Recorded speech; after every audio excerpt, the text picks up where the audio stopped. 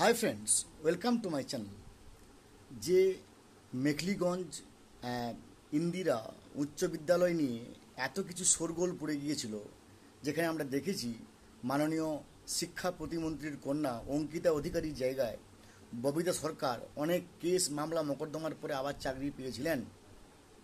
সেই বিদ্যালয়ে আবার নতুন করে একটি ঘটনা, যে সমস্ত কিছু স্মৃতি উস্কে দিল।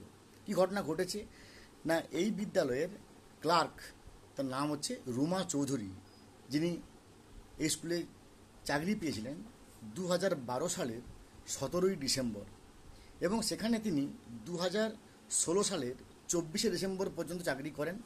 তারপরে তিনি ক্যান্সারে আক্রান্ত হন এবং তিনি দু হাজার সতেরো সাল থেকে উনি এক প্রকার ক্যান্সারে আক্রান্ত হয়ে এখানে চিকিৎসা ওখানে চিকিৎসা করার ফলে স্কুল উনি যেতে পারেননি।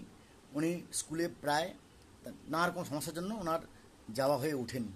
তারপরে দু হাজার সতেরো থেকে দু হাজার কুড়ি পর্যন্ত তিন বছর উনি চেন্নাইতে চিকিৎসা করার পরে ওনাকে সম্পূর্ণ ক্যান্সার মুক্ত বলে ঘোষণা করেন সমস্ত হাসপাতাল কর্তৃপক্ষ।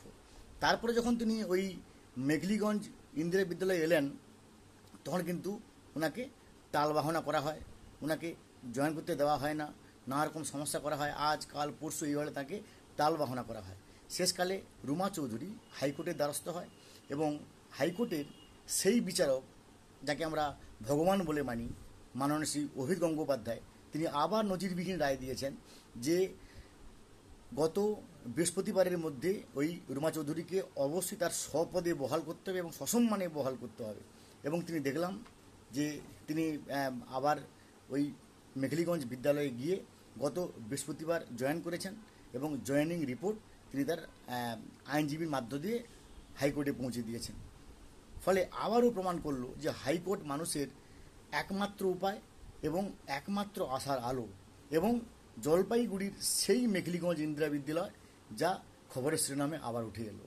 তো ফ্রেন্ডস এটা নিঃসন্দেহে ভালো খবর যে একজন কর্মচারী যাকে আমরা চাকরি দিতে পারি না, তার চাকরি পাওয়ার এবং চাকরি না পাওয়ার যে যন্ত্রণা, ফলে চাকরি ফিরে পেলে তার মনে যে কতটা আনন্দ হয়, সেটা কিন্তু অবশ্যই নিঃসন্দেহে হাইকোর্টে আবার প্রমাণ করল।